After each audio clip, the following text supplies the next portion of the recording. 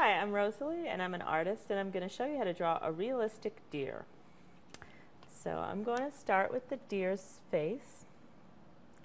Uh, I'm drawing the top of the head and then the ears, which are large and sort of almond shaped like that. And then the deer has a sort of pointy face. It's looking at us and its eyes are wide set and there's its nose. And its posture is very erect. Its neck is like straight like that. And that's its back, goes back for a while. And it's just sort of a lean, this is a very lean deer. And they just have like thin legs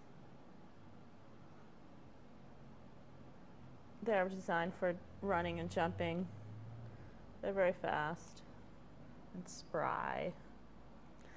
And there's the hind leg. Oh, it has a tail like that. And it can raise it up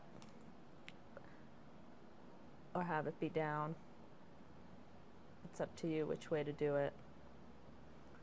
And there's the feet.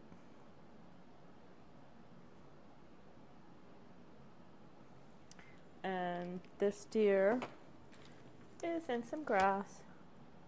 I'm just going to put that in, you know, just out. Deer live in woods and wooded areas and they'll also venture out into like fields and plains and stuff. And this is a female deer without antlers. And that is how I draw a realistic deer.